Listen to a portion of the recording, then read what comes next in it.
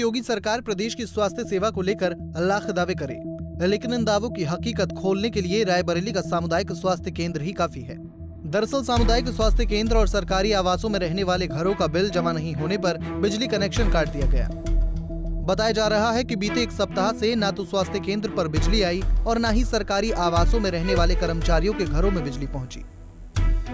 आलम यह है कि सामुदायिक स्वास्थ्य केंद्र में आने वाले मरीजों को भी गर्मी में अपना इलाज करना पड़ रहा है। जबकि सरकारी आवास में रहने वाले लोगों को बिना बिजली की परेशानी उठानी पड़ रही है। चलता। नहीं अभी तो बिजली थी ये चली गई तब से कोई व्यवस्था नहीं है यहाँ। जनरेटर चलाया नहीं गया? नहीं अभी जनरेटर चलता तो आपके सामने पंखा चलता। तो गर्मी में आप लोग परेशान हैं? हाँ गर्मी तो है सर अच्छा तो अ, कल से भर्ती हैं? नहीं नहीं अभी एक घंटा डेढ़ हुआ है। एक डेढ़ घंटा हुआ।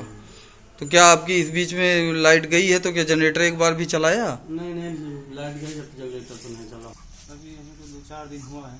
दो चार दिन नहीं आज चार पाँच दिन। हाँ। पाँच दिन हो गया। तारीख को आए हम तब से लाइट नहीं यहाँ लाइट नहीं तो कैसे मोबाइल चार्ज करते हैं कैसे गर्मी में? तो बाहर में किसी संपर्क करके दूसरे के यहाँ चार्ज कर लेते हैं। मोबाइल। और गर्मी से बचने के लिए बाहर बाहर। कर्मचारी हैं यहाँ के? हाँ जी पायलट पायलट हैं। लेकिन बिजली की कोई सुविधा नहीं है। प्रॉब्लम है।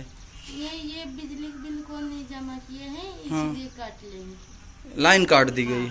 तो आप लोग गर्मी में रहती हैं? हाँ। हैं? हाँ। कब से? आज आठ दिन हो गए। आठ दिन से? हाँ। कोई सुनने वाला नहीं है? नहीं।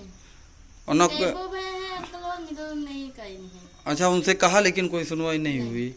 तो इसी तरह गर्मी में मोबाइल वगैरह और रात में कैसे सोती हैं? आज जब बैटरा जाता है चार्ज करने। तो हम्म। आवत है तो फिर वहीं जाते हैं। वहीं एंबुलेंस कर्मचारियों का कहना है कि डॉक्टरों के आवास पर तो बिजली आ रही है लेकिन कर्मचारियों के घरों का कनेक्शन काट दिया गया। यहाँ पर पिछले करीब एक हफ़्ते से लाइट नहीं है और कोई सुनने वाला नहीं हम लोग गर्मी में परेशान हैं।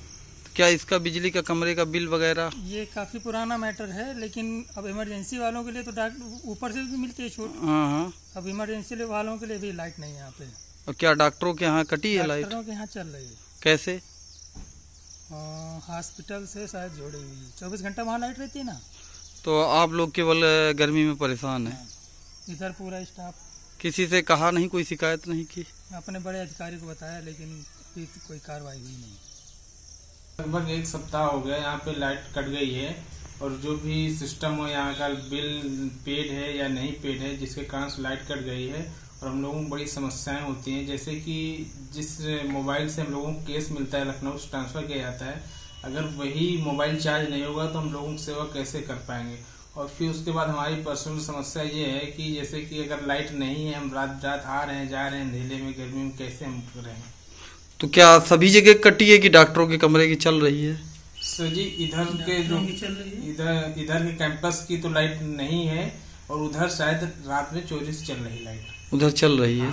आप लोग गर्मी में परेशान हैं। गर्मी में परेशान है लगभग एक सप्ताह एक ही।